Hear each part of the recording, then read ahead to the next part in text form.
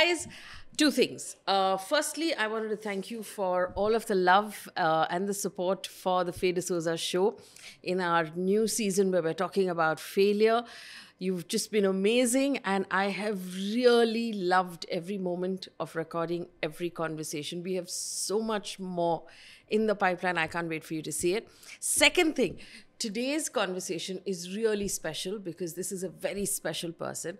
Uh, her name is Dr. Kiran Coelho. She's one of India's senior most gynecologists who's been practicing for over 45 years. So, apart from all of the other conversations on failure, we've talked about PCOD, we've talked about IVF, about egg freezing and how to do that well and safely. We've talked about little girls getting their periods early. We've talked about protecting ourselves also from UTIs that we get from public bathrooms. So, all of that conversation is in this show. You can actually find it using the chapter breakup to find the questions that you want answers to. But I really hope that you will watch the whole thing through.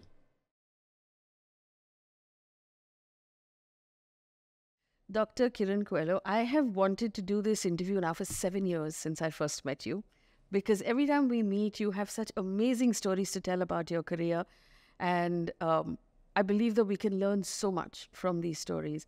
So, for our audience who doesn't know, Dr. Coelho is one of the most respected gynecologists and uh, high risk pregnancy specialists in the country.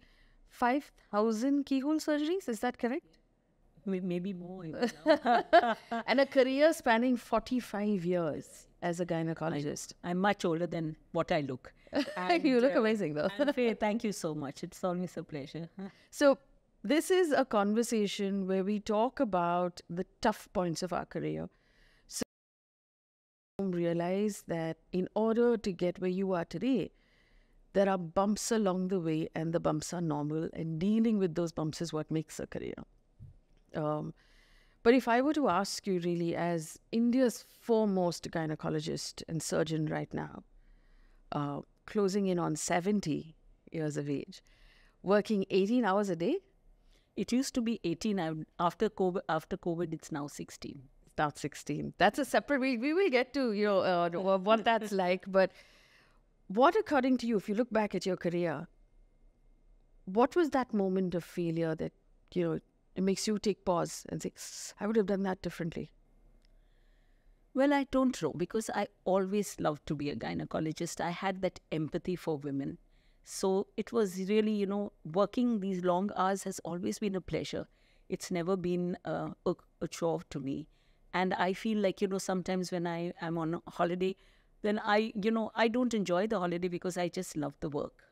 So getting up in the morning and meeting women and taking care of them and doing the surgery, that itself is such a joy Faye that, you know, really holidays are not really holidays. I am an armchair travelogue. So I like that, you know. So I always go when I go internationally for a lot of conferences. I always, uh, you know, have conference and holiday. So it's never really holiday. It's always both.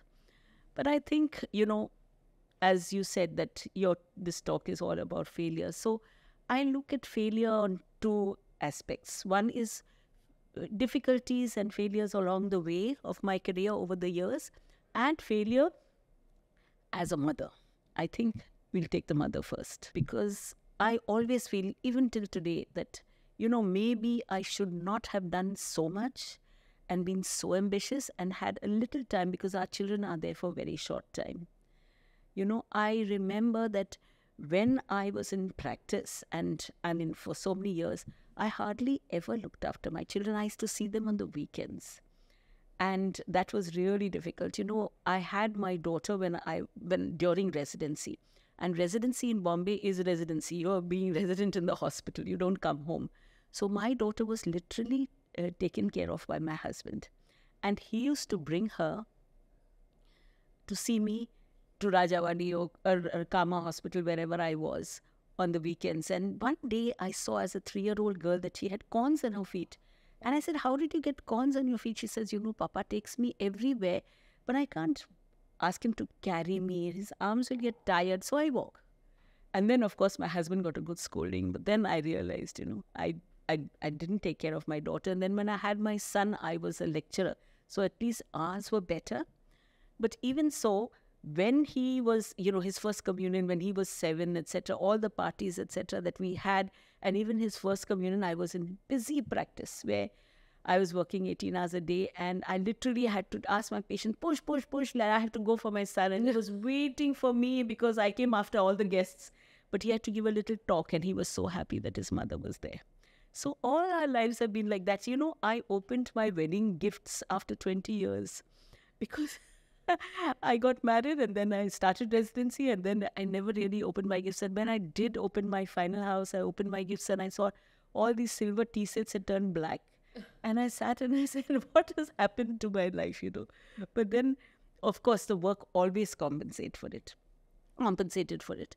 And then, you know, when my daughter was in Besant Montessori, I still remember, uh, I was called and I was so happy. I thought maybe she's done something good. But Miss Demi Wadia, she was the principal, and she fired me. She said, Dr. Coelho, either you have a career or you be a mother. You can't be both. Look at what your daughter had done.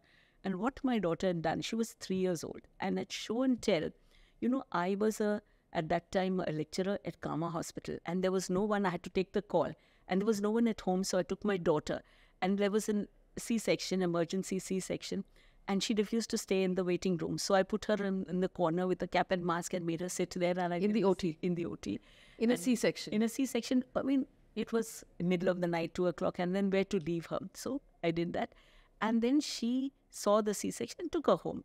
And then uh, that was it. My husband was with, those days with Pepsi, so he was in Delhi. So she has told the uh, the teacher and all the children in the school, I know how babies are born. My mother cuts the tummy, the baby and the blood reaches the ceiling, and the the medicine from the bottle goes into another bag in the bureau. And but would it have been possible, Doc, for you to be to have the to have had the career you've had, and also be around more? Not really, because we don't have group practice over here. It's all an individual practice. Our practice in India is quite different from abroad abroad, everyone has group practice. The person whom you see for nine months is not the one who's going to deliver you.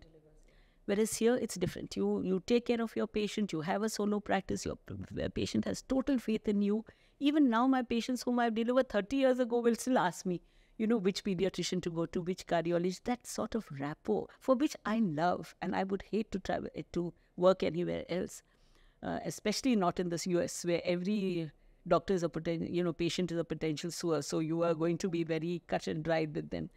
I, I, that's not the why I took medicine. That empathy for women was so important. I remember even in the middle of the night Faye, I would dress up, wear lipstick, wear perfume, and then go and deliver the woman because she should not feel that look at this uh, woman has come out of I've disturbed her from her sleep. She's come out angry in her, you know, this thing. So I, I and you know, the patient, even though she would be in pain, she would say, Thank you, Dr. Coelho, for dressing up for me.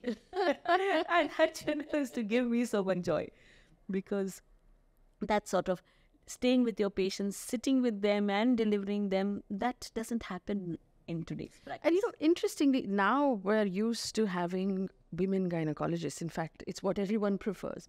But that was not always the case. This used to be a man's bastion, right? Absolutely a man's bastion because women would not you know they they wouldn't be able to leave their family and their children. Not everyone had an understanding husband like mine. And i feel very often that my practice took off really because i really had that support from your spouse. And over the years obstetricians especially now of course we have obstetrics and gynecology. Obstetrician you can choose not to do the deliveries and do only gynecology but then, in when you have an individual practice, it's the obstetrics where you do all the deliveries, which bring in the gynec patients later. You understand? So it has to be together. So now the current generation, as you said, they like to have it all because they will choose only obstetrics, or they'll do only IVF, or they'll do only perinatology, or only end- gynec endocrinology. So they'll master in those subjects. So they'll have a limited practice.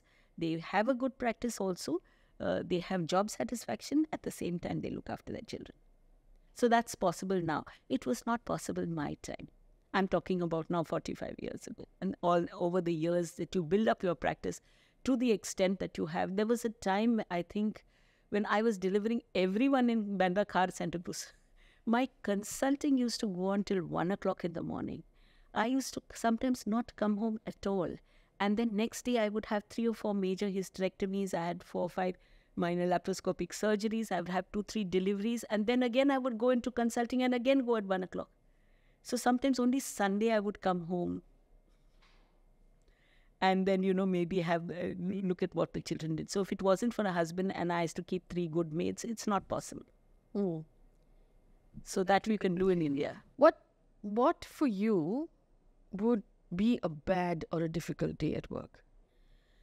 Bad or difficulty i wouldn't ever say the more work the merrier. But uh, you know sometimes i do a lot of high risk obstetrics. So when you have an elderly um, woman like say for example yesterday it was a very sad day for me. It was sunday but it was one of the very senior trustees of the hospital there is, um, known to me who had had about five or six ivf failures. And then she was finally pregnant with twin pregnancy and everything was okay at seven mm. weeks. And then when she went for her 11th week scan, both the fetuses had died inside at nine weeks. There's nothing you can do about it. There must be some genetic effect. But the tragedy that that woman went through, and I sat with her and I had to do the evacuation under, under ultrasound guidance. And the, you know, that her tragedy really I felt. So those are bad days. Sometimes one another day I had a, you know, very sad, very few cases but I had a patient who had diabetic pregnancy. That's a high risk pregnancy. And normally, if you have a patient with diabetes, at 37 weeks plus, we deliver them because we know that after 37 weeks, the placenta is not supported by the um, um, uh, the placenta uh, doesn't support the pregnancy, and so you have. So I had this patient who was 37 weeks plus, and uh, she, I admitted her, and she said, "You know, doctor, I will, I would like because you know you have this Muhurat cesarean section, so the patients chose that go to the pandit. yeah. So, Pandit you know, the time yeah, yeah. day. And so she said, you know, my pandit, she said, not today. Can you do it tomorrow at so and so and so? Uh, so I said, all right, everything looked okay. But in the night, the baby's heartbeat disappeared. And next day, I had to do a C-section for a dead baby. Those, those are the trying moments in your life. If you have you have cases where people put off a delivery because the Muhurat is not correct. Oh my gosh, all the time. You know, there's a Muhurat for leaving the room, there's a Muhurat for the incision, there's a Muhurat for the baby coming out. And sometimes, you know, if I have three Muhurats at the same time in three different hospitals, I have to tell the patient, please change your Panditji. Because I can't be in three or three different Isn't that risky for the baby though? well, it is, but to be, of course, with due risk. Of course, if it has to be risky, you know, then I tell them if, it's an emergency C-section, if it's an elective C-section, we can plan the date. Okay. But I get patients five o'clock in the morning and one o'clock in the morning, and disrupts everyone's life. But you know, when it comes to Muhurat over the years, Faye, I always agree to them because if something goes wrong, they'll say it's something to do with the. but I don't know how it would really, really help because if it's a natural delivery, then okay, you can understand the stars and all that. But if you're going to plan everything, then what's the point? But anyway, it's each one's view. And uh, if it makes them feel better, then why not?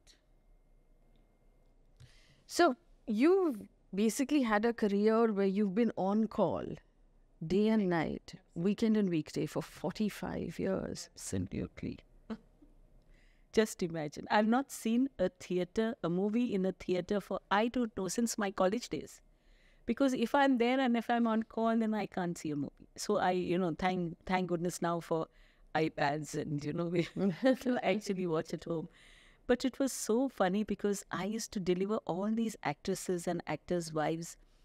And Faye, I would not recognize them, number one, because I don't watch Hindi movies. Oh. And I would not have seen their movies.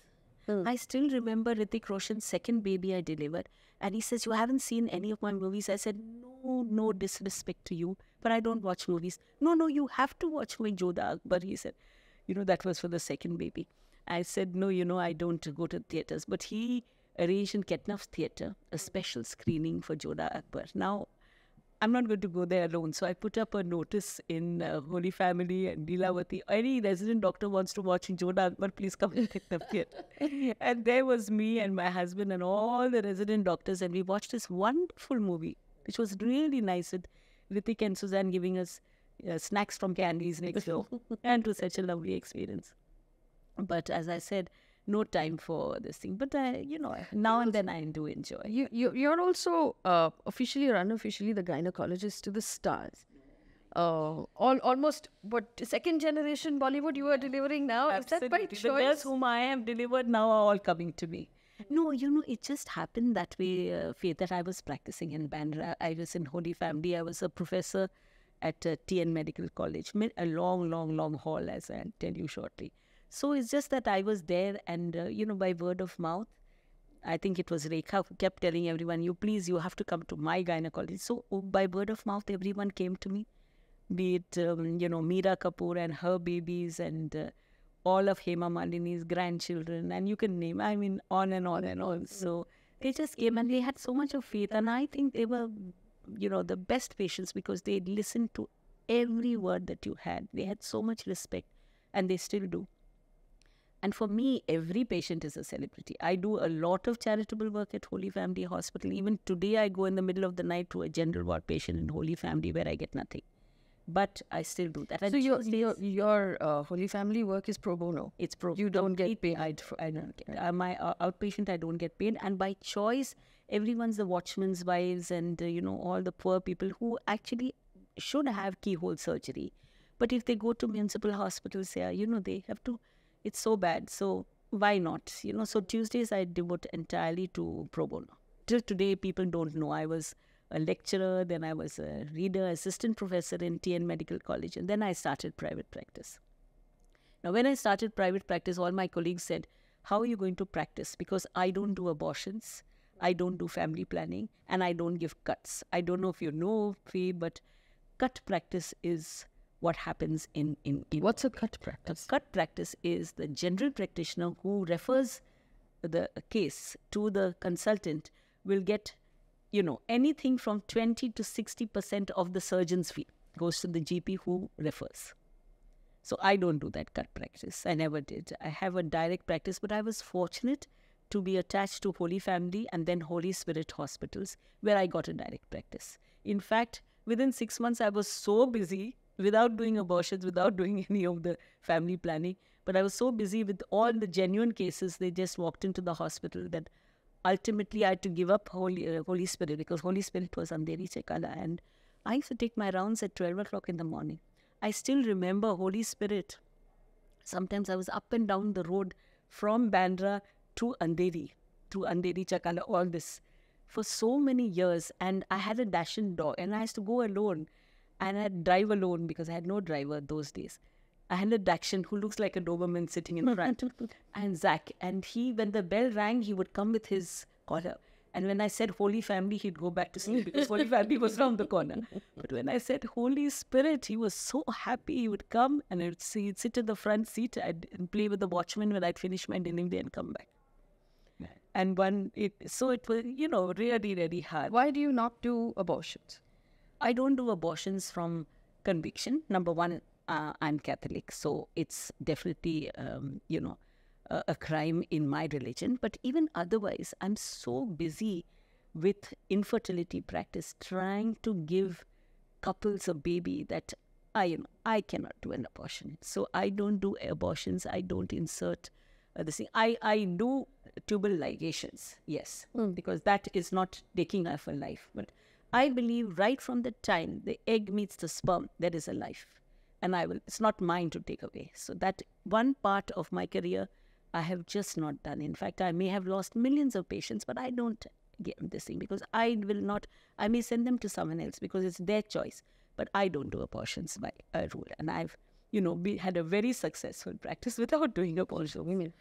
Uh, we have more and more women now having babies later in life. Absolutely. And uh, a lot of times people ask, what is the latest one can wait before, you know, when, it, when it's, we're still in the safe zone and when you can still deliver a normal, safe pregnancy? I know.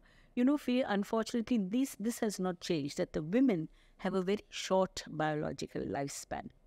That is, you know, the ideal age for childbearing is 18 to 26. when you have your babies between 18 and 26, you're eternally youthful. You've seen our mothers and all that. They all look young because they've had their babies young. But who gets married before 26, 28? And then after that, you have EMIs. You don't want to have your babies until you're 35, 36, 40. But after the biologically, the number of eggs that we have, the ovarian reserve starts depleting after the age, I would say, of 35 to 36, 38. You ovulate once in two months or three months, and that too, the eggs are not that uh, good. So some of them are, you know, already aging. And after the age of 40, then it's always assisted reproductive technology. So for these girls, assisted reproductive technology has come in a big way. I do three egg freezings per week. Do you know that all the girls now, those who are abroad, they pay them for egg freezing. Here, of course, they, they have to pay themselves. But young girls, say, from the age of, say, 25 to 32, they are at their prime. So if we freeze their eggs, those are young eggs which are frozen, it's for like them for them it's like an insurance policy they can wait to select their partners they can wait till later then they can get married their husbands then there's uh, the the eggs can be fertilized if they don't want to conceive by themselves there's always a backup plan so egg freezing is one that's the latest then of course ivf anyone can have a baby today even this male, do you know male infertility is so much on the rise that almost 30% of urban males are infertile because of low sperm count. And that is because, again, delayed childbearing, because of stress, because of so many things. And so many couples don't have intercourse. They're too tired at the end of the day. They have only intercourse on weekends. And you know, there's only 48 hours in the whole month where you can conceive. Mm-hmm. So if the 48 hours don't, uh, you know, if they're holiday or weekend, then years pass and they don't have babies. So that is what we are facing now. And everyone is delaying their childbearing. A, a woman is supposed to have a baby every alternate year. That keeps the uterus and lining good, the wall good, but you know, we have overpopulated the world. Everyone has one or two babies. So delaying childbearing, having fewer children, results in fibroids, adenomyosis, endometriosis, where you bleed externally, and some fertility. So definitely, um, I my first advice to any young couple who come to me is, you know, forget about everything. We still have help. We still have in-laws. We still have maids in India. Have your babies when you're young. Okay. I'm an example of it. I've had both my babies, and then then my career. So, but of course, there's a lot of compromise. But you know you can do it for those who can't especially those who are you know maybe actresses or maybe uh, you know people who are in the uh, where their looks matter where they really can't afford to take time off now to have their babies or young girls when their careers who you know it's first of all there's a glass ceiling and we all know it hmm. in especially in the corporate world in india today my own daughter-in-law was at McKinsey. She went back to the States because the corporate India is all male dominated. So you have to work that much harder to reach the top. So then you can't stop and have a baby. Hmm. In fact, they ask you in the interviews, will you yeah they asked me when i when i was a young resident doctor at wadia hospital i had to sign a bond that i won't get pregnant because there was six uh, you know we had six months, six months, and six months, one and a half year of residency. I signed the bond and I promptly got pregnant with my daughter. and I hid my, I was very slim those days. I hid my pregnancy till the seventh month, doing that hard labor of working 18, 20 hours a day. And then suddenly everyone said, Are Kiran is pregnant because they know out of the seventh month you show. so it's like that. Even when they take interviews, they ask, Are you are you married? Are you going to have a baby? Where are you going to stay? You know, all those things. So there's so much discrimination. So you recommend? Uh, you, do you recommend egg freezing for 25 year olds? What's the ideal age? Ideal age is I would say 28 to 32. You know, okay. even if you're 25, 25 is very young because you can have your own babies and you never know. But there are many girls who come, and I think that would be the age 28 to 32. 32. That that's the time where you can take. It's only 14 days off of your life because the first 14 days after the period you're given injections, every month only one egg ripens. But when we give these injections, you get multiple eggs in the ovaries. They're very uncomfortable, of course. Mm. And then under anesthesia, under ultrasound guidance from below, we take out the eggs. Then we uh, grade the eggs and freeze them. And then there is the one-time fee of the uh, egg freezing, and then per year is another fee. Is it prohibitively expensive? It is quite expensive. it is around anyway, if you see, around 2 2.5 lakhs for the actually freezing procedure, and then 70,000 per year. Per year, too. Per year, too. So people do do come and they all want to have the eggs frozen. Then, of course, you have IVF. It has to be IVF. And then couples who come after the age of 38, 40, etc., it has to be IVF. And uh, it has to be a donor egg because, you know, after a certain age, we have a test called anti-Mullerian hormone, which checks the girl's ovarian reserve. And if the reserve is less, no matter how many how many hormones you how many hormones you pump the woman, she will not produce that many eggs, and you can't do so many uh, cycles of IVF. So then it's an egg donor, a young donor, husband's sperm in the woman's uterus. The other thing I wanted to ask you about is PCOD. Yeah. Um, was not talked about so much maybe when my mother was younger. It was not existent. then. Not, where did it come from? And why is it so prevalent? It's so prevalent because of stress. Now, PCOD is all about stress. Just like diabetes, India is the diabetic capital of the world, again, lifestyle related. Uh, so also um, uh, PCOD, one out, we have done the studies, one out of every three adolescent girls and one out of every five women in their reproductive age in urban India has PCOS. And what is it is just a hormone imbalance. You see, every month there's a diurnal variation of the hormones, right from menarche up to menopause. Every month, one egg ripens, it ruptures, it regresses, and the periods come out. Now, this is a finely tuned balance between the hypothalamus, the pituitary gland, the ovary, and the lining of the uterus. And it all has to be in, in balance. It's called the menstrual clock. Now, anything, any disturbance like exams, you see girls who have exams, they don't get their periods for six months. Athletes who run, they don't get their periods. Or anyone who has any stress, and all girls are stressed. They all have to compete, etc. So, because of that, and also sedentary lifestyle. So, we don't know which comes first, the egg or the chick, because you still first put on weight. Hmm. You know, the, the ovulation occurs because the estrogen in the blood is a certain level. Yes. Now, when we put on weight, the estrogen goes and sits in the fat cells to form estrone. So, the estrogen is never at a high level to cause ovulation. So, the, all the eggs start accumulating inside the ovaries and they start producing male hormones. So, you get acne, pimples, hair growth, and it also causes insulin resistance. So, even though your pancreas is okay, you have insulin is all right, but your body is not recognizing the insulin. So it it's like knocking on the door and the uh, door doesn't open.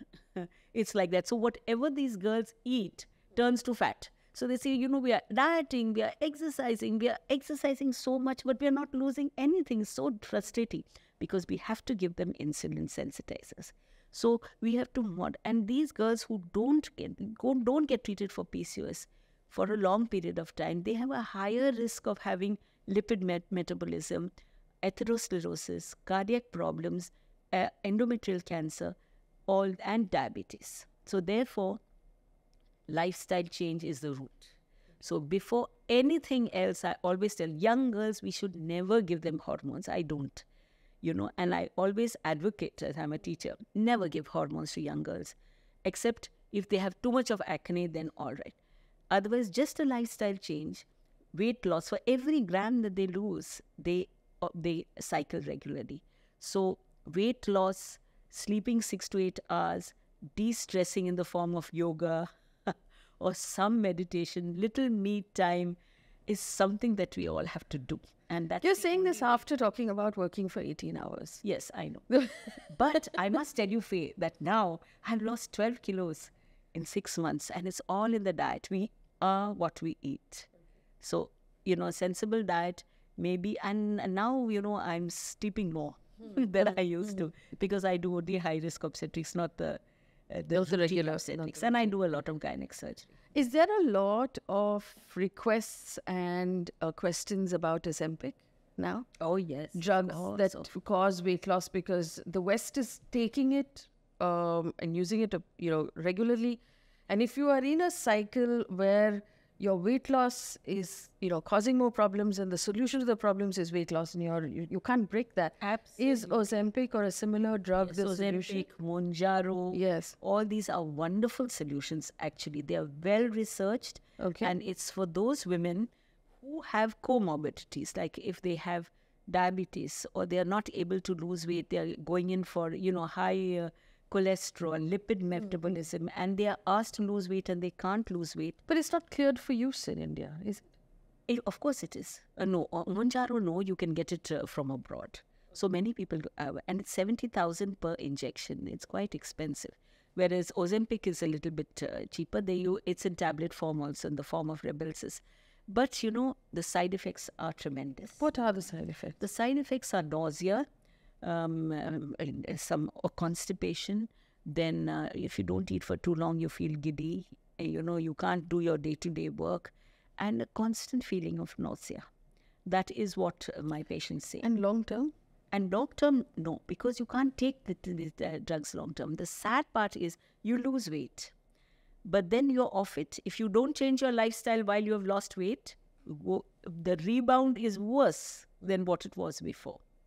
There's the other question about the HPV vaccine, um, which is perhaps the only one in the world that can help you prevent cancer. In India, cervical cancer is one of the biggest killers of women and also detected very late because Indian women tend not to go for regular checkups. What is your recommendation on the HPV vaccine?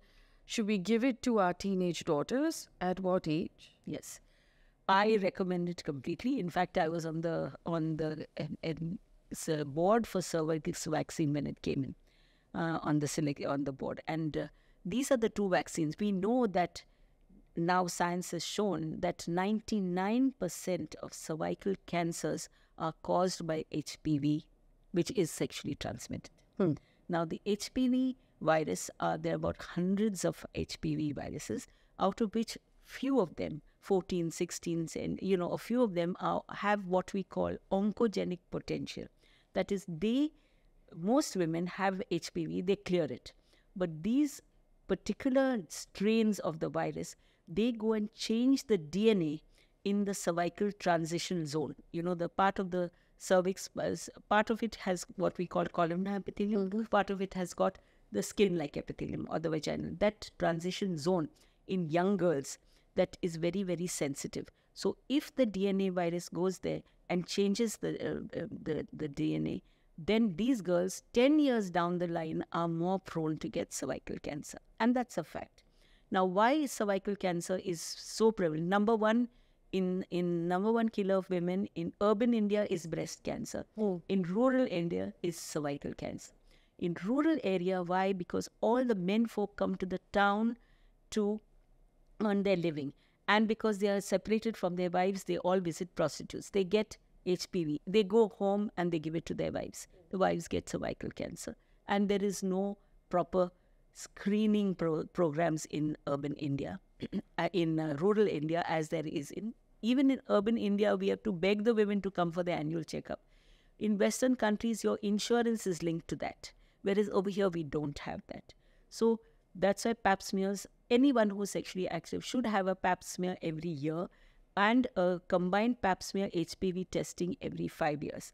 So there comes in the, the there are two uh, cancer and uh, two HPV, anti-HPV vac- vaccinations which are available in India. One is Cervarix, the bivalent, and the other one is the quadrivalent or Gardasil.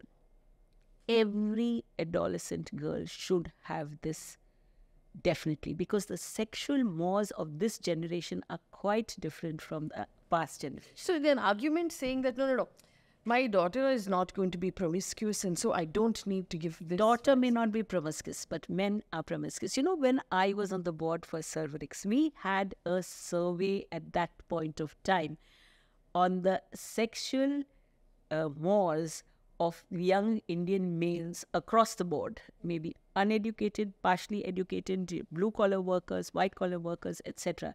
And you know what the response was? 70% of Indian males are unfaithful to their wives. So, therefore, the men So get the vaccine.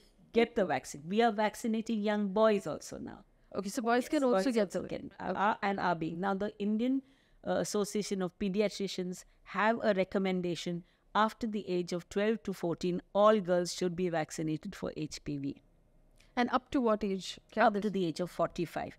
Why? Because even though it's no point when you're already married, etc., and then getting that because you you may be exposed already but at the same time genital warts vulval warts etc they are cured by you don't get that if you have the vaccine so we give it right up to the age of 45 they're three doses yeah it's Yeah. expensive It's expensive? it's expensive But the government is now pushing. the government is pushing for two doses yeah for two doses. Um, the other question that comes up for women a lot, and if we read on the internet, it gives us a different answer. But can uh, can we get UTIs from public toilets?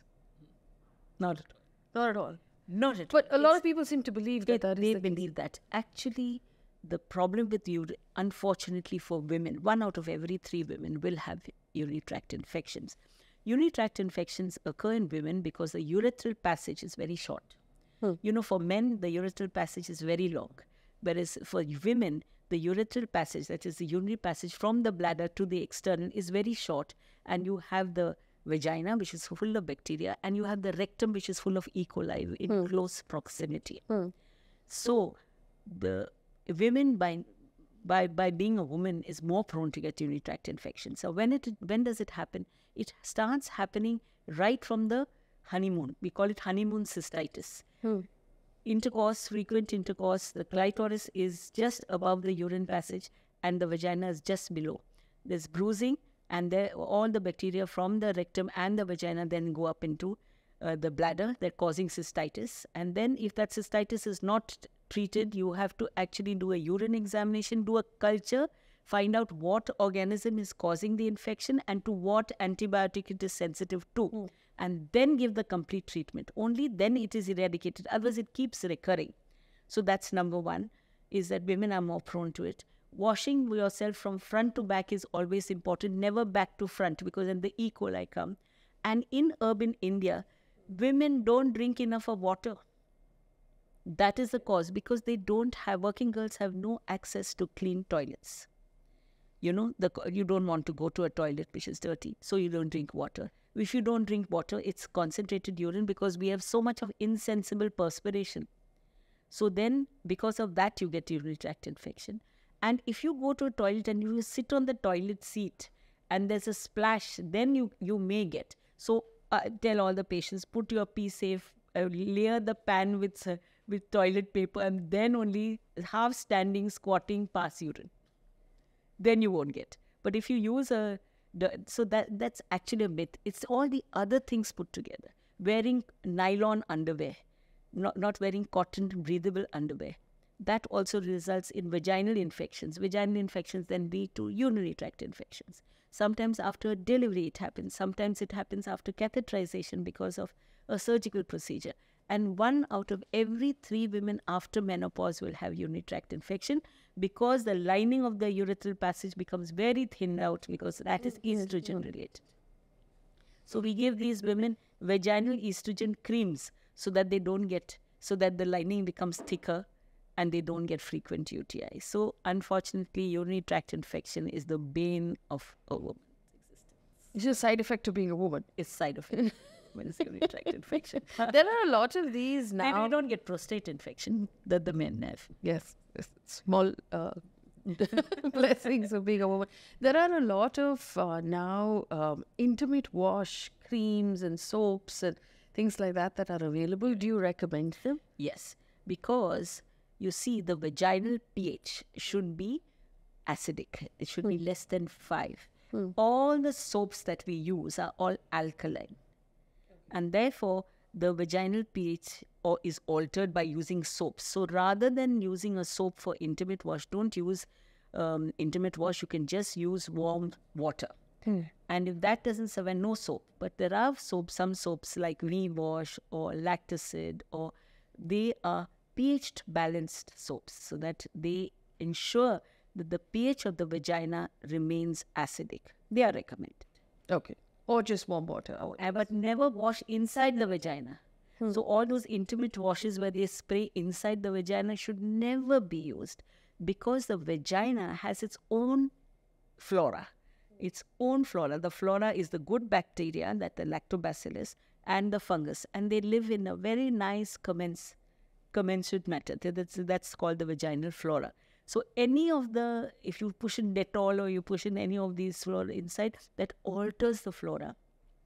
Antibiotics, when you take antibiotics for maybe throat infection or any other reason, you always have to take a pre or probiotic, a probiotic, because the bacteria of the vagina, the good bacteria, all wiped out by this antibiotic. Antibiotic. And then the fungus takes an upper hand.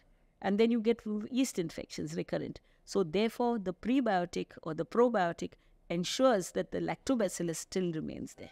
Do we uh, overuse antibiotics in India? Oh, 100%. 100%.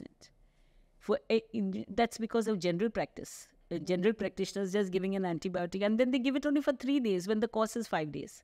All hospitals, we have an antibiotic um, re- registry. We cannot give antibiotics, certain antibiotics, the higher antibiotics, until we actually go through the registry and find out do a culture, see the antibiotic sensitivity, and only then give antibiotics. So in India, antibiotics are really overused.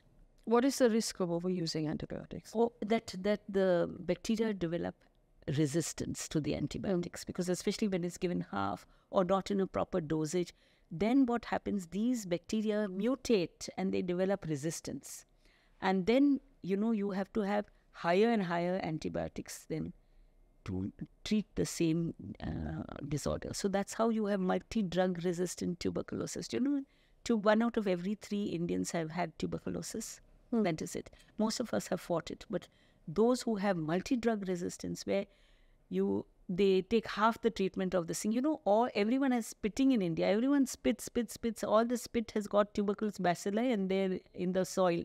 So even when you breathe and you go into somewhere, you're breathing these tuberculosis. Your your natural immunity system deals with it. But there are so many tuberculosis, tuberculosis of the throat, of the neck, of the stomach, of the genital.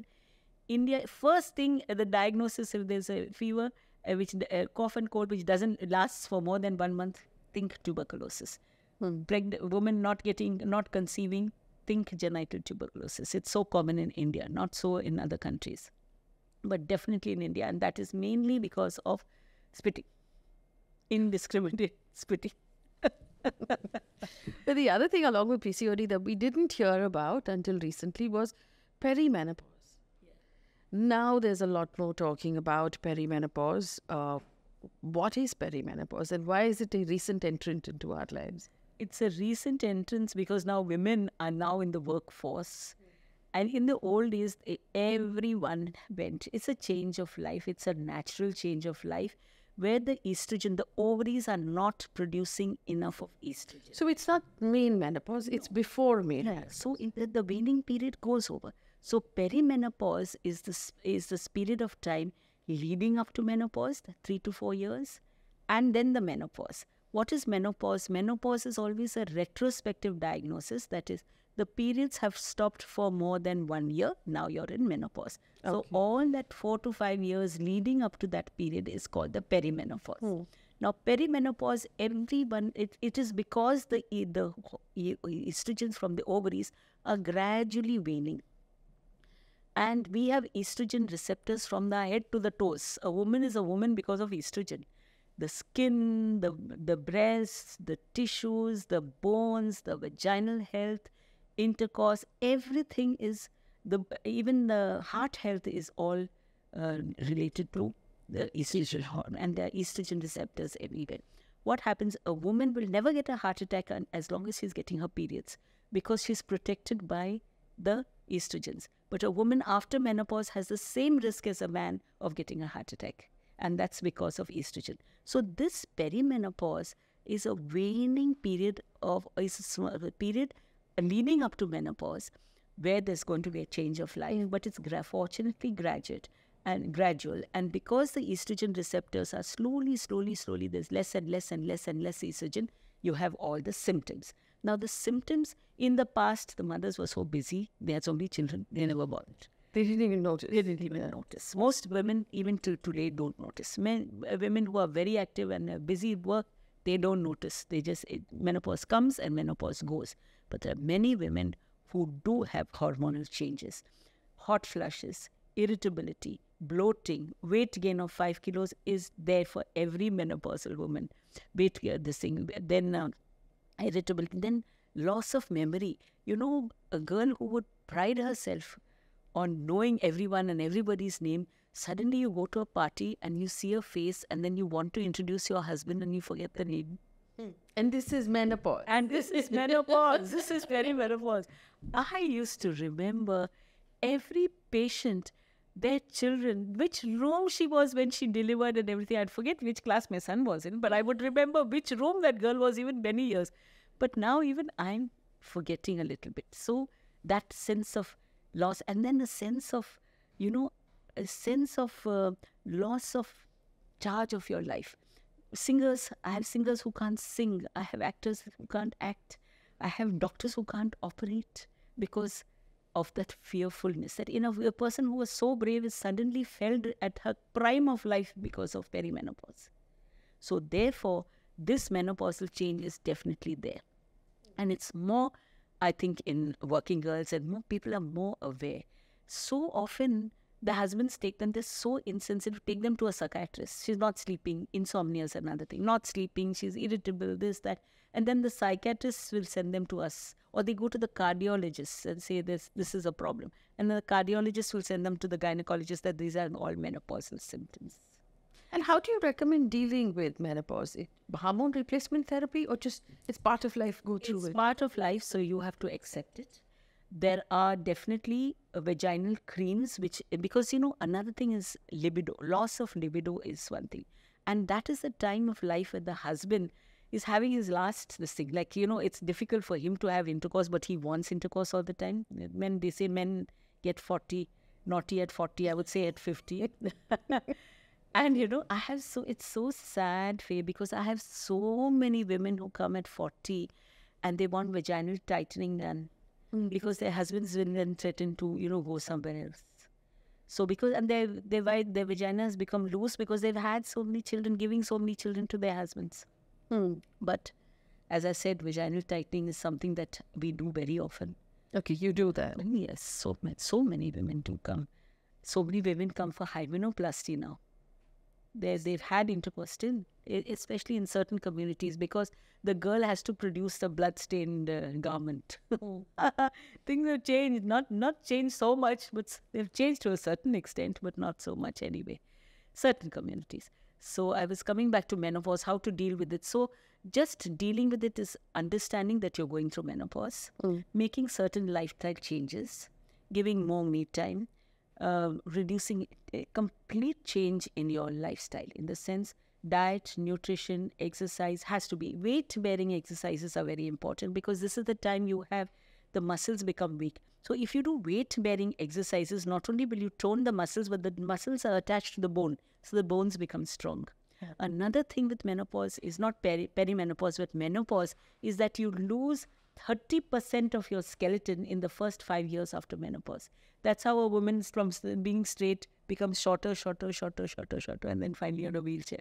And that is because of untreated menopause. So we do give calcium, vitamin D supplements, etc., to prevent this. Because what happens? Estrogen controls absorption of calcium, deposition of calcium in the bone, and prevention of resorption. Because the bone is a living structure. But when the estrogen becomes less, there's less absorption of calcium, there's less deposition, and there's more resorption. So the bones become brittle. It comes like a thief in the night. Or first there's osteopenia, then there's osteoporosis, then even a rickshaw travel and your spine gets fractured. You fall, you get a Colles fracture. And uh, fracture hip of the female is number one killer of women after the age of used to be 70, but I'll see it now. That's where your fat protects you a bit because the, you still have the estrogen in the fat. Just- leaner women more have more Fractures. osteoporosis and then then do fatter women. Some, some, advantage of being chubby. Advantages of being chubby.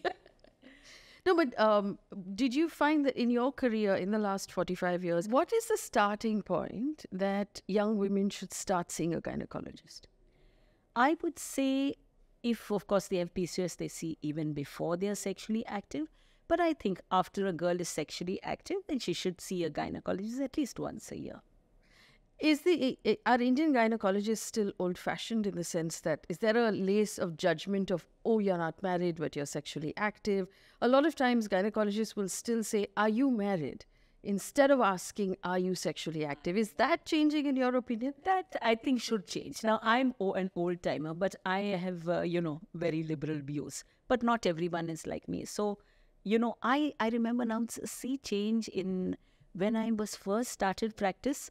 I would take the girl behind the curtain when the mother sitting there and ask, Are you sexually active? Now the girl, mother asks me to give contraceptive to the girl because she's sexually active. So, you know, Yeah, things have things changed. are changing. Do you recommend uh, contraception? Because there are a lot of young women now who are concerned that it's messing with my hormones. Uh, I don't want to be on the pill constantly. It's not good for me. What's your stand on uh, oral birth control? No, oral birth control has come a long way. And I, you know, I may be a Catholic, I just don't deal with a child which is already formed. But definitely I offer contraception in all its form, in forms. Now, the pill has again undergone, just like the rest of gynecology, there's so much research on the pill that the latest third generation and the fourth generation pills are so natural, they mimic the natural hormones. Hmm. They help women with PCOS. They actually help women not to get endometrial cancer and ovarian cancer. So, definitely the new generation oral contraceptive pills are wonderful and everyone should have it. Are condoms foolproof or do you recommend the oral contraceptive as well? For condoms are not all proof. There, there we have a, a hundred women years. That's how we test. And condoms are six percent per hundred women year. That means if hundred women used only condoms as a form of contraception for a period of years, uh, six, uh, one year, six of them would get pregnant with the condom. So, so that is how we uh, judge the efficacy of a contraceptive device. Now, condoms are good because the woman doesn't have to have anything. We have female condoms also, which are which are good. So, uh, you they are used only at the time of intercourse. The woman has no side effects, The- and also you you are protected from sexually transmitted diseases. Yes. So, to a certain extent, because the condom. Why does the condom fail? It's because there may be penetration before uh, you putting on the condom. Yeah, what we call uh, pre-condom this thing, and you know there is some amount of sperm in the present in even pre-ejaculatory sperm. What we call pre-ejaculatory semen al- also has certain amount of sperm, so that they may be hanging around the glans penis, and that would hmm. impregnate. So if so, wrong usage of the condom, bursting of the condom, and improper use of condom, poor quality of condoms that causes condom failure. Hmm, hmm. So when we uh, prescribe the condom, we always tell the girl how that the how the partner should use it. But condoms, I, I I feel is a very fo- good form of contraception because they, especially young girls who are having intercourse now. You know, after the I pill came in, everyone is having intercourse. The girls are not worried about getting pregnant. And you have to tell them it's not only pregnancy, it's it's STDs. Do you know how much of herpes I see, which never I, I used to see before. One out of every eight American women have herpes. Now we are finding the same thing in urban India. Because all the girls and uh, school girls and college girls are all sexually active now. It was unheard of in our time. Mothers have to be so careful of their children. You can't send them for sleepover. You can't send them this thing. You have to escort them. But who? The children don't listen. Their mother, parents are their worst enemies at that age. their friends are their best. their, the, the peers are, are all important. So, you know, how, where do you draw the line? I think half the stress of women who have young girls and young boys are their children. And the morality today. There's no word as immoral anymore. You know? So that's, you know, that's the changing. So that, therefore, you have to have good protection.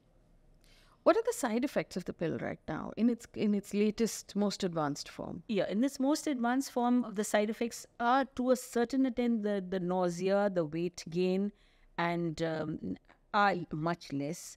In fact, the the pills which are given for PCOS, that is the anti-male hormone, uh, this thing with drospirenone and the new drugs uh, that have come in for to prevent the androgenic or male effects, that they also are very good to control the weight gain because they are, they've got mineral mineralocorticoids. Anyway, I want to be too technical, but they do not cause water retention and weight gain. So the water retention, the weight gain, and the acne that used to be with the old pills are much better now with the new pills. but of course certain amount of nausea. And what i feel is really worries, worrisome and the deep vein thrombosis. We have young girls who have come with strokes because they've taken pill for a long time and they've got deep vein thrombosis. Though indian women didn't have this more caucasian women but still we do find in indian women.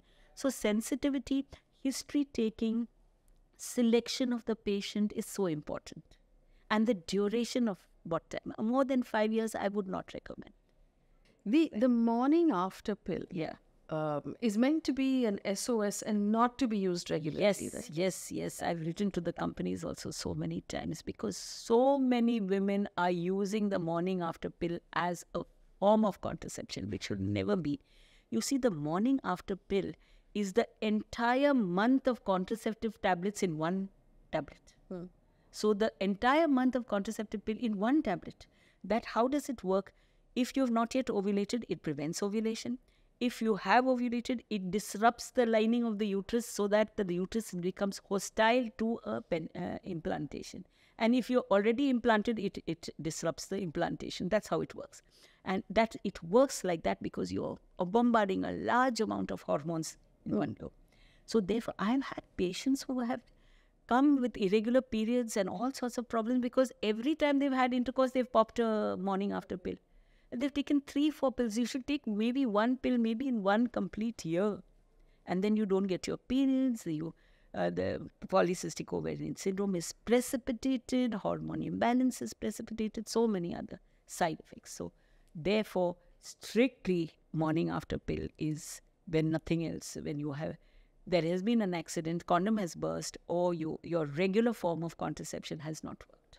We do have, and I, and I do want to bring this up. We do have um, favorable abortion laws in India in comparison to the West, but a lot of of women are still using the morning after pill as a form of abortion or using um, sort of yes because they don't find the medical system to be you know welcoming or or even perhaps uh, That's unfortunate. They- It should be more welcoming. Everyone should have access to their doctor, and also the the MTP pills which are available now, which are very effective. But because of the P, PCPNDT Act, that dictates who, and very very rightly so, who can give those. M- They are not available over the counter. The MTP pills I'm talking about, where you can give up to the eight or nine weeks of pregnancy you have to go to a gynecologist. The gynecologist should be actually certified to do MTP.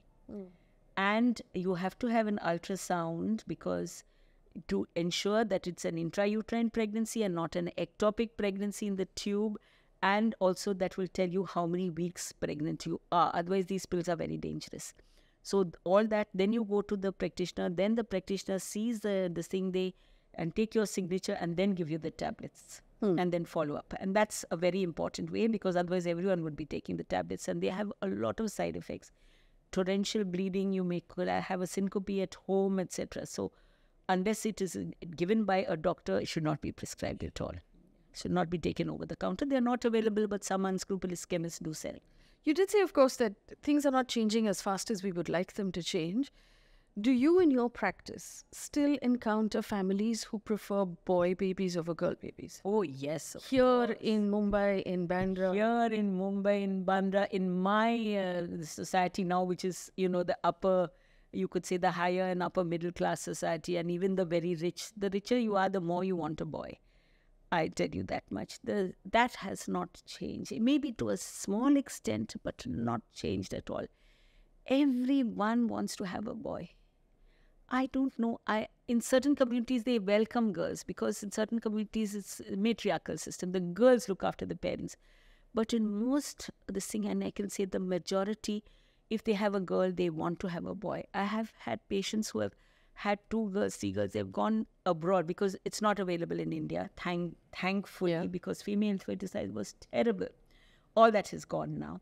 They go abroad for gender determination they go abroad for um, to find out whether it's a girl or boy and then they come back and now it's very easy because of nipt that is a non-invasive prenatal testing which can be done after 10 weeks of pregnancy where the mother's blood is mm, taken out and then the fetal cells are filtered out from the mother's through a, a very good um, method. And then the fetal cells are then genetically tested. So the chromosome analysis is done, and you can find out whether it's a girl or boy. So people go abroad for that. Uh, there are many centers where people do go for uh, sex selection, for IVF sex selection, for oh, they're already pregnant. It's so sad. You know, over the years, I do not tell the sex of the patient of the, of the baby till after the placenta comes out. Because if the girl is having a second it's not that she she would have loved to have but the family. If she's had the second daughter or a third daughter she may even hemorrhage to death with the shock of it. It's that bad. You know and i'm so glad now that we don't have sonography to tell the sex of them because i over the years have seen daughters-in-law being treated badly because they are carrying a female fetus. My children used to tell me because all all the patients give sweets uh, you know when the baby is born. So the children used to say ha this must be baby girl this must be baby boy because for the baby girls it would be ordinary pedas ordinary sweets. But for a baby boy it would be kaju katli and kaju rolls and whatnot. So the my children would tell me this is a boy and this is a girl. Can you imagine? To that extent And you've seen this happen not just in the pro bono work that you do, but also in the fancy hospitals. oh everywhere everywhere it's universal I mean, the other thing that I meant to ask you about, um, and this is hard for all of us, the case that we came across in Calcutta, in Kolkata, where uh, this young doctor lost her life in such a terrible way. And um, we've seen a national reaction to it. And I remember you and I spoke immediately after. You have stories from your own residency, and all of the female doctors I spoke to were not surprised by this. No, you know what? When I was a resident, I'm talking about 40, 44, 45 years ago. In those days, I still remember I'd come from Bangalore, St. John's Medical College, to Bandra Bhabha, which was a municipal peripheral hospital. We used to stay in quarters where rats used to bite us at night.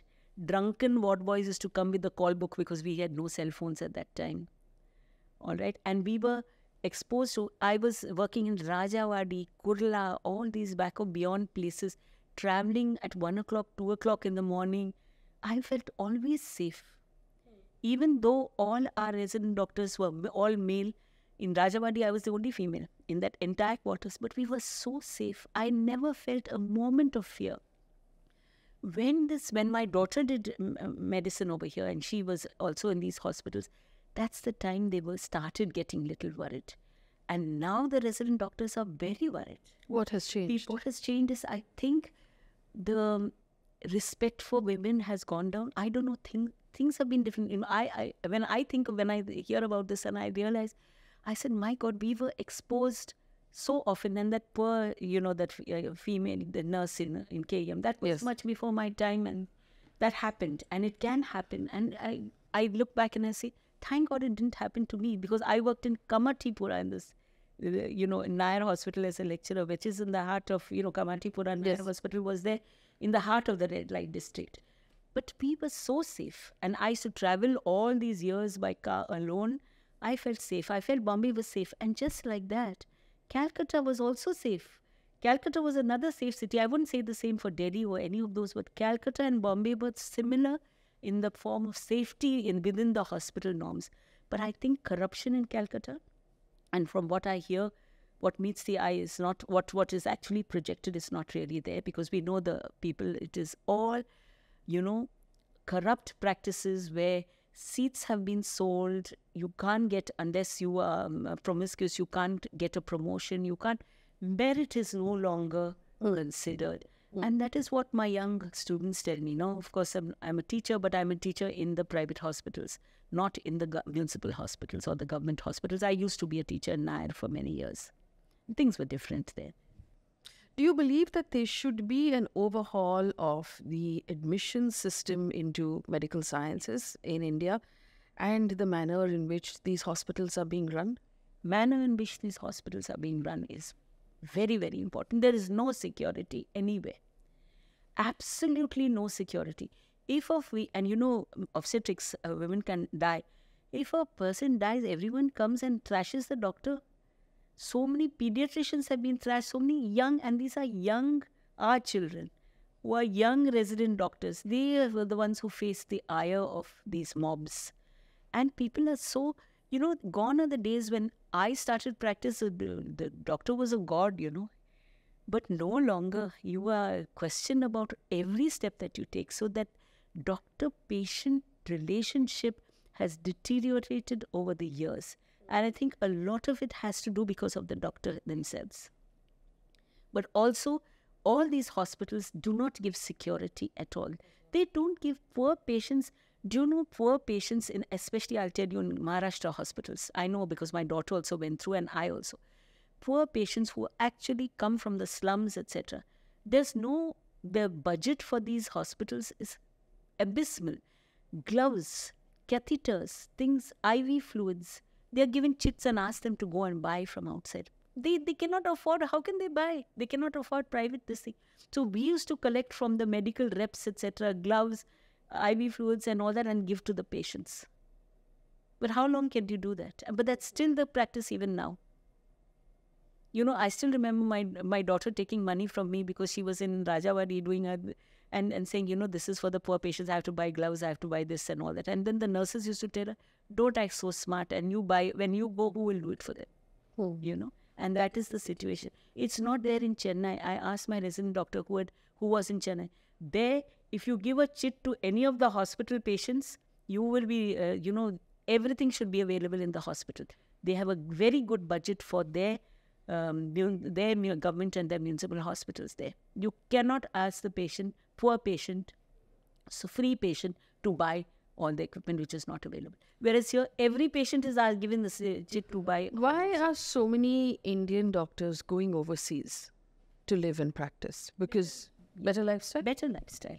Better lifestyle, a good uh, dignity of labor, everything. You see, and now everything is stopped. People can't go to Australia, they can't go to USA, they can't go because there the local people now have taken up. And there, there was a time where everyone, my own daughter went off to the US she that year they didn't hold the entrance exam there's no proper entrance exam if you, you see what has happened with the NEET the tragedy of the NEET patients and people have suffered and everyone feels that why are we studying when someone is paying the money and getting the papers it's so tragic for our youth so anywhere outside where there is a fair system they would like to go what is your uh, advice to doctors male and female at the beginning of their careers oh love your profession Otherwise, leave it and go somewhere else. because it's a long, long, long, long, long haul. Mm. And unless you love it, because you know, our profession is so demanding, Faye. You go to a, you know, maybe engineering or the finance world, or there are so many opportunities now for younger people. You don't have to do medicine. In the, our days, it was either you did medicine or you did engineering, you know. But now there are so many opportunities. I still remember my niece, she runs, um, she is the owner, part owner of uh, Heads Up for Tails, oh. which is the biggest toy shop. Now, you know, yeah. yeah, and she's doing so well, you know. So there are so many opportunities. So unless you really love humanity, because it's not all glory and the money is uh, absolutely nothing compared to the rest. So unless you love your job and you love humanity and you love to do things for people, then you're not in the right place. Many second generation, I would say, doctors are those whose parents have nursing homes, whose parents are doctors. They have something to inherit. Hmm. For them, it's okay because, you know, despite seeing their parents, they still want to do it. So that means they really want to do it. And then eh, they have the entire setup for them. So then why not? So for them. But unless you love your work, it's very, very hard. And what's your advice to the women not necessarily doctors, but women in their careers right now trying to juggle it all, trying to have it all, uh, facing judgment for being working mothers. What would you say to them? I don't know what I would say to them because I'm one of them. but you know, yes, it's very hard because you, you know, abroad, if you see, men and women they share the workload, but not in India as yet. We are still male dominated we still have to do the cooking or you know supervise the cooking uh, see that the in-laws are fed the husband is, gets his dabba the children are fed so that early morning one or two hours goes on children then when you go to the workplace there you're competing with men in a men, male dominating area. Could it, it could be corporate, it could be anywhere. Be a lawyer, be a doctor, be it everywhere. You are competing. You so you have to be twice as good as everyone else. So you're working long hours. When you come home, you have your mother-in-law saying, "Oh, she goes out, she's had a good time, and come." Then again, you're back with chores, you know. So lots of people, are, and still, I would say it's still nice to have a joint family because with a joint family, the children are looked after. With a nuclear family, then you have you have to you know depend on maids, etc. I had to depend on maids. For women, I I would say you know be less ambitious. Be less ambitious. Be less. We have to Be less ambitious. I know, I know, I was ambitious and I've achieved my goals, but you know, or maybe, you know, curtail, don't do everything. Maybe select something. You see, it's you're not possible to have everything. possible. It's not, po- and it definitely is not possible. There are so many times when I sit down and my children are far away. They're, I feel I really fail them as a mother, and that is a feeling that gnaws into your interior. You know, because your children are there for a short period of time. If in that short period of time you've not given them your time, you've not given them anything you know okay you, you can say i was uh, you know you can say that you know they were watching a, a mother who was productive a father who was productive and you know they were doing good for others etc etc etc they were not going for kitty parties and ignoring us. They were actually working and then ignoring us. But ignoring us is there you know. So i would say you know children uh, are there for a short time. They go off to college. So those those 10 to 12 years pick up your career after that you know so now i can work long hours i have no one no no guilt at all because i'm not depriving someone of my company. And i feel you know that relationship with your child um, in their growing years is very important for you. Sometimes i feel maybe my children would not have gone far away if i was closer to them those years. And that's a real feeling which i which i have.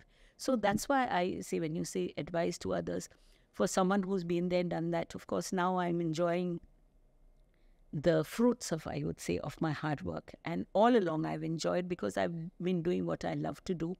But i think we have to compromise on that. And women until the scenario changes unless until men step up to the plate and they say okay we'll do 50% of the work we still have to you know we can't have it all there's some do you see you're going to have a lacune Do you see as a result, especially in your profession, more and more women choosing not to have children at all? Yes, many. More and more women feel that this is our lifestyle. If we have children, it's going to ruin everything, uh, ruin our, um, my own family, uh, my nieces, etc. None of them. They have either they have double income, no kids, or they have double income, one kid, or they have double income. And if you have three kids, like you're the sperm king of the area. you know, having three kids, you know, it's unheard of. But since, and you know, everything is expensive. Having a kid is expensive. So people actually, and you have to have two incomes. You can't afford a good lifestyle, which you want to have. Uh, after all these years, you want to have a good lifestyle. You can't have it with only one uh, person earning. You have to have two people earning, and then you have the kid. The each kid has got so much. The right from your antenatal to the delivery charges to after that the little children, the pediatric charges, then everything that child children are so demanding today, and they have to study, and you know the expense of each child is so much that people are, don't either they don't want to disrupt their life and they and when they actually want to have their kids when they are 40 and they realize they're going to be alone it's too late and that's where the egg freezing comes in and that's why surrogacy suddenly was such a roaring success in India because everyone had someone else to carry the baby. But that surrogacy is something that we didn't touch upon. And now, as of 2023, we have surrogacy laws and no one can do surrogacy in India. And, and that's a long, long route that you have to go. You have, you have various boards where you have to apply for the surrogate mothers, the parents, the who gives the baby should be related to you. If not related, at least you should know them, and they should send affidavits. The, you, the doctor has to say that this person couple can't have a baby. They should ha- not have their own child. You cannot have a second. You cannot be single. You cannot be uh, gay. You cannot you be a foreigner. so there are so many. You can't have. In other words, you can't have a surrogacy anymore. But do you think that that prevents um, people who could have had children? Yes. And we've we've seen many examples of people who have children, uh, healthy children by surrogacy. Absolutely. But I are we closing that door as well? Is that fair? that's not fair. And we are fighting it tooth and nail because they have thrown the baby out with the bathwater, the government, by banning surrogacy across the plate. People, I, a, a single mother, a single woman, many of them want to be single and they want to have a child, they want to experience their own child. Then why are you barring them? The, you can have a surrogate sperm, but you can't have a surrogate egg now anymore. Oh, you know so no egg donors. There are so many things uh, you know a couple who's already had a, a child and the only ex- exception to the surrogacy is if you have a child who's uh, con- has congenital malformations then you can. But still there is so much red tape. Still you cannot have a uh, you know um, uh, now you have what we call altruistic um, surrogacy where you can't pay for the surrogate and I feel, you know, there were so many surrogate mothers who were well paid and uh, they could run, you know, and look after their own children because their husbands were drunkard, their children send their children to school. They were, it was a win-win situation. The problem was the intermediate couple, in the intermediates. There were intermediates who would liaise with the doctors and liaise with the with the, um, the the mothers, the mothers, and they were the ones who actually were cheating the surrogates, and they were making money, the mid the middlemen, and it was because of that there were so many tragic stories that the government, rightly so, throughout this sort of surrogacy, but you should still have um, uh, sur- surrogacy allowed to women who are not married, who are single, gay couples. I think you're you're interfering with a person's right to have a baby, right to procreate by doing that, and you should not interfere with a person's personal personal rights. Is what I feel. So therefore, there should be changes in that and allow surrogacy again. Maybe have stricter laws, put people in jail, like the PCPNDT worked very well. Have something like the PCPND, put the doctor behind bars, you know, for 10 years and be strict about it. But, uh, or put the person who's cheated the surrogate, but allow surrogacy. oh. So you're going to turn 70 soon. Yes. What happens now in your career? What are you looking forward You know, to? I still do three or four major surgeries every day. I work like I'm 50. I am physically uh, fine. I have the support of a wonderful husband. I hope to go on uh, till I drop dead. Maybe, you know, with uh, laparoscopic keyhole surgery, with robotic surgery, you can be very old and still operate. With robotic surgery, even the tremors are taken care of you know so and you can sit so even if you can't walk you get you can sit you don't have to stand long periods of time uh, you have the robo and you have the, the the you have the knowledge of anatomy you have the skill and then why not use it for the benefit of humanity so i think i will work till i drop Dr. Coelho, thank you so much for giving me time. It has been a complete pleasure to speak with you. thank you so much Faye. as always you are wonderful thank you so much Thank you. Well, congratulations, you made it to the end of the video. Thank you for watching. If you have suggestions for me on guests that I should bring on the show or subject matters you'd like for me to deal with, leave me a comment in the comment section. And of course, remember like, share, subscribe, and sign up for our membership program on YouTube. It will help us do a better job for you.